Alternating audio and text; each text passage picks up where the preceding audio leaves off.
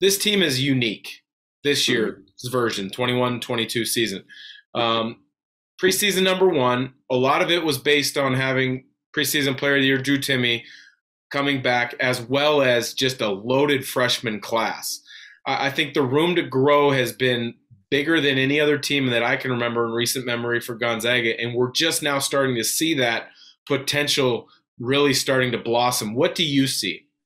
I, Dan, I, I agree with you. You know, I, I think it's funny because, it, you know, and, and obviously it's easy for me to say, well, gosh, I think Baylor should have been the number one team. But I mean, if you look at what they had, plus their recruiting class, and that they had won the national title, you know, I, those preseason rankings, I think, get right uh, maybe a little bit ahead of themselves. And and, and I agree with you. I, I, mean, obviously, having Drew and Andrew back, you're like, okay, this is great.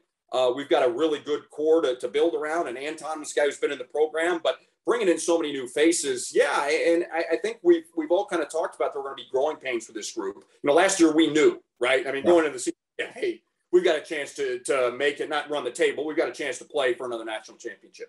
You know, coming in this year, I think everybody just kind of assumes you know, okay, well, it's got bag and got this recruiting class and they've got some guys back, so they're gonna, you know, they're gonna do this. Well, yeah, I, I mean, freshmen have to learn, right? And and, and teams have to come together. And last year was such a veteran group and, uh, and a historic group, right? That, that did so many great things. And this group comes in, and there's a lot to live up to, and it's going to take time right? I, I, mean, even for Chet, for being the number one ranked recruit in the country, I mean, you saw him play his first couple of games, and you've seen him, you know, play those games against top 25 teams, and now we see him playing two months later. Chet has improved. Yeah. He's gotten better to learn how to play at, at, this level, I think, know, and same thing with Hunter and Nolan. I mean, with each passing game, you know, you see Hunter flying around doing some things. You see Nolan playing with a little bit more confidence. And, you know, I, I'm with you. I think by the end of this year, this team is going to be so markedly different you know, in the yeah. middle of March than it was, you know, back in October when, when they got together. So, you know, I I just laugh hysterically. I don't know about you, but uh, you know, when people say, "What's going on with the boys?" or "How are we?" You know, it's like, well, let's see. We lost to Duke.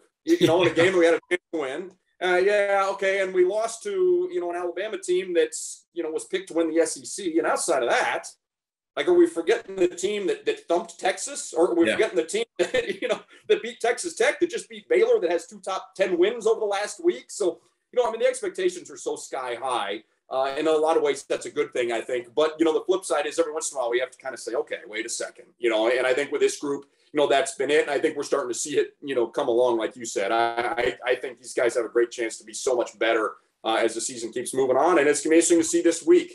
Uh, you know, and, I, I don't know about you, but for me, it's always interesting to see how guys approach the WCC and yes. and moving out of when you play all these you know top 25 games early and then you move into league play and what your attitude is. Well, BYU, you know, and we've seen them, you know, there's been some words out of Provo a little bit. And there was a big long article in the Athletic today that, uh, you know, had a few things that were kind of talking about it. And so it'll be interesting to see how fired up the guys are uh, on, on, Thursday. And hopefully they continue to improve because I think you know this as well as anybody. You know, Coach Few has done just a masterful job of keeping guys focused and dialed in and not losing games they, that they shouldn't lose. And so, you know, hopefully they continue to do that and continue to grow towards, uh, you know, towards March and hopefully, you know, towards April.